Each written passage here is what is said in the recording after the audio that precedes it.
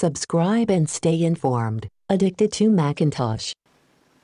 Hi, I will show you how to lock screen orientation on iPhone and iPad with iOS 13 or iPadOS 13 respectively. As you already know the iPhone and iPad automatically switch the orientation from portrait to landscape upon rotating the device. This could be frustrating at times when you're not in an upright position, as the screen switches orientation even if the device is just slightly tilted. You may easily lock your screen to a preferred orientation. I will demonstrate on both iPad and iPhone. First on iPad, all you have to do is to get to Control Center. At Control Center, you will see an icon with a round arrow and a lock. Simply tap on it. You may now rotate your device any way you want. Once it is locked, it will stay locked. Same goes for the iPhone. It is that simple. Hope you enjoy this video. Have a nice day.